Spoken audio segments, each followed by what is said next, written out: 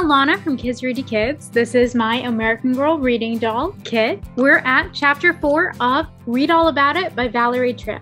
So let's get started. Chapter 4 The Attic. After dinner, Kit climbed slowly up the stairs to the attic. She looked around at the lumpy, dusty piles that surrounded her. Then she sank down to the floor, overwhelmed by sadness. When she'd been wishing for a change so that she could have a dramatic headline, she'd never imagined this. Terrible changes, and so many, and so fast. Dad had lost his job. She had lost her room. And in a way, they were going to lose their house. They'd still be living in it, but it wouldn't be the same when it was filled up with strangers. Nothing would ever be the same. Kit almost never cried. She bit her lip now and fought back tears. Then suddenly, Sterling's head appeared at the top of the stairs. What are you doing out of bed? Kit asked, roughly brushing away a tear. Kit could tell that Sterling knew she'd been crying, but all he said was, I'm bringing the stuff from your room. He came all the way up the stairs and handed Kit a box. Kit noticed that the photo of Ernie Lombardi, wrinkled but smooth flat, was on top. Thanks, said Kit. I brought you a tack too, said Sterling. He gave Kit the tack and looked around. I guess you could put Ernie Lombardi up anywhere you want to up here, can't you? He said in his weirdly husky voice. Then he disappeared down the stairs. After Sterling left, Kit looked down at the photograph. She felt oddly cheered to see it. Old sniffle nose Sterling is right, she thought. I guess I could put anything anywhere I want up here. Kit looked around the long, narrow attic. The ceiling was steeply pitched. There were regular windows at each end of the room and dormer windows that jutted out of the roof and made little pointy roofed alcoves, each one about as wide as Kit was tall. The windows went almost all the way to the floor of the alcoves. Kit managed to open one of the heavy windows. She knelt down, stuck her head out, and came face to face with a leafy tree branch. At that moment, Kit got a funny, excited feeling. She knew exactly what she wanted to do. Over the next few days, Kit was glad that no one seemed to care what she was up to in the attic. When she wasn't helping Mother downstairs, she hauled buckets of soapy water up there and scrubbed the windows till they sparkled. She swept the floor and pushed the boxes far to one end of the room. Finally, the cleaning was done and the fun part began. In one alcove, Kit put a desk and a chair and her typewriter. That was her newspaper office alcove.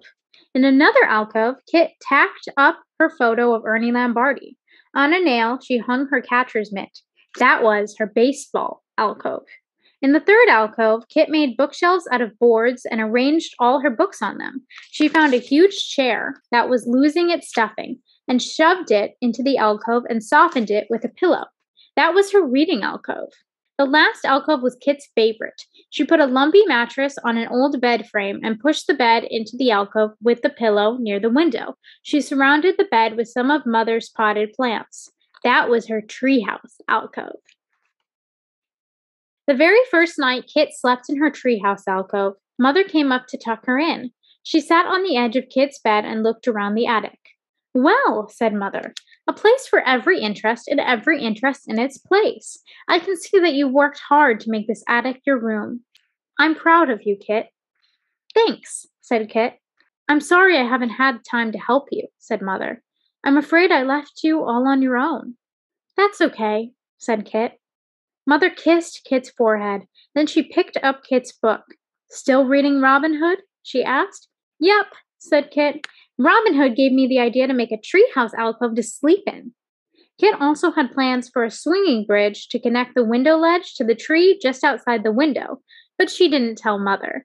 It was going to be a secret escape, like Robin Hood had.